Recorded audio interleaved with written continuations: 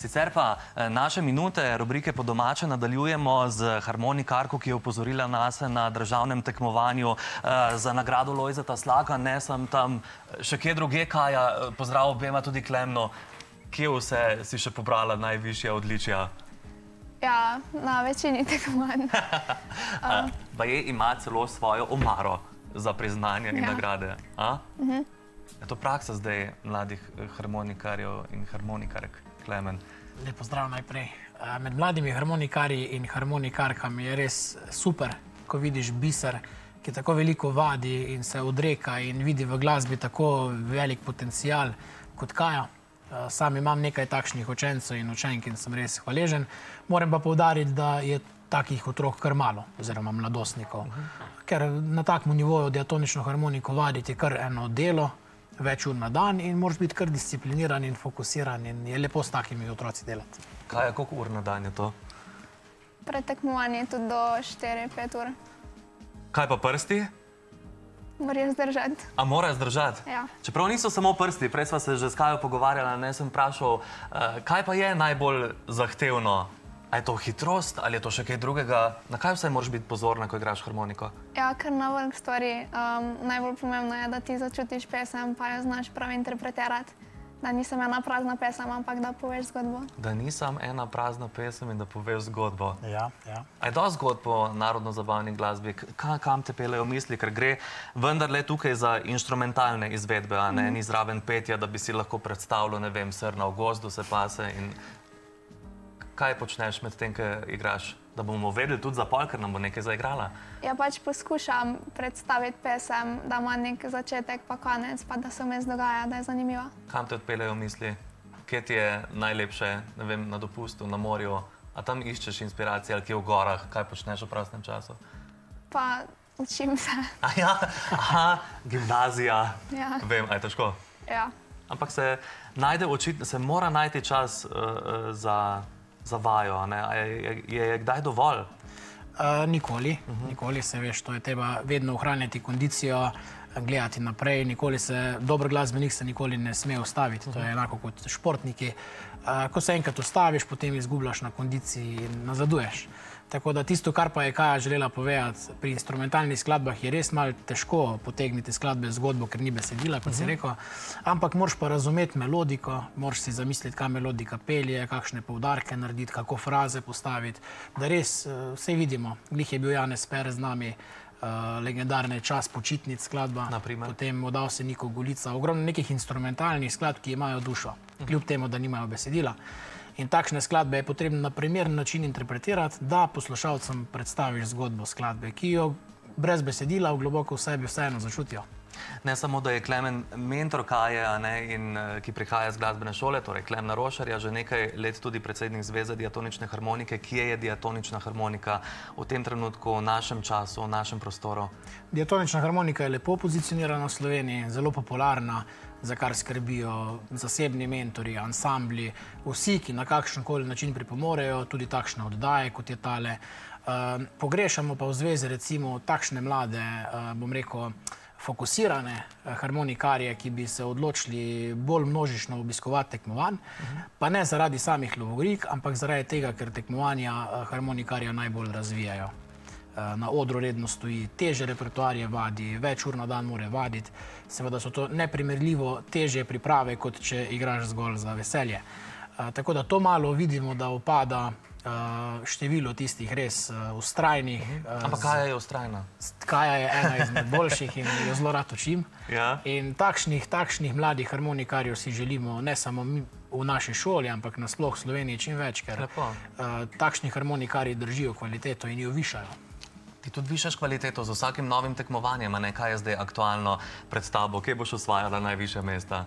Uh, zdaj pride Evropsko, pa Ljubečna, pa, pa tudi Delčnekova tekmovanja. Zlata harmonika ljubečne, to je tekmovanje, za katerega ste verjetno že slišali, še zmeraj obstaja. ne? Uh, sicer pa, kaj še potem, evropsko si rekla?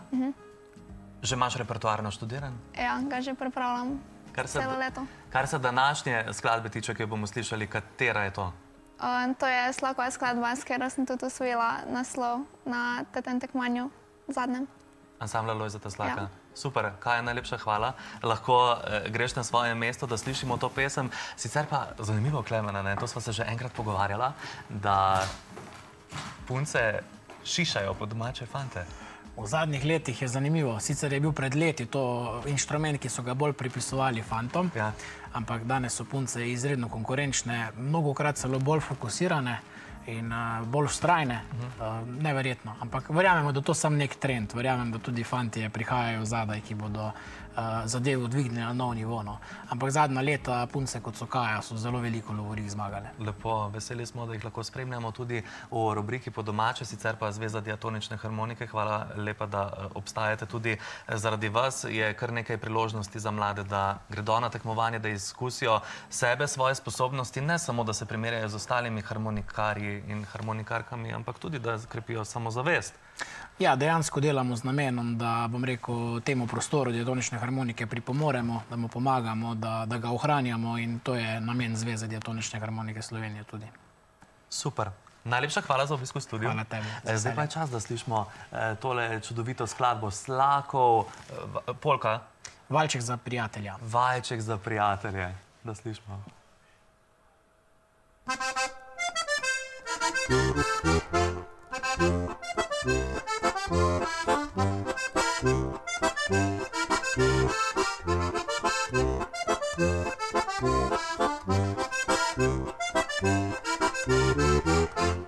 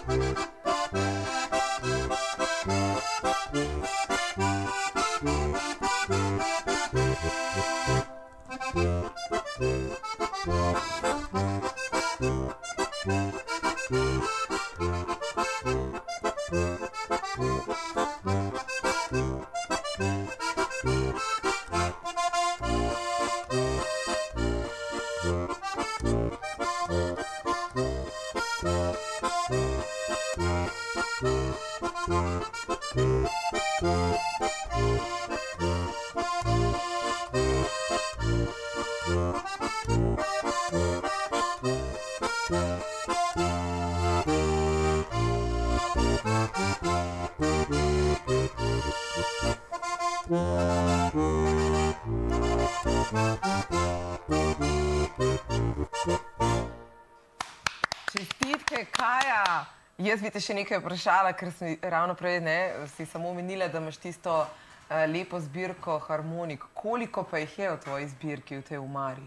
Uh, v harmonik imam pet. Pet harmonik. Ja. Pokalov, medalj pa to, da se hiša zrodi.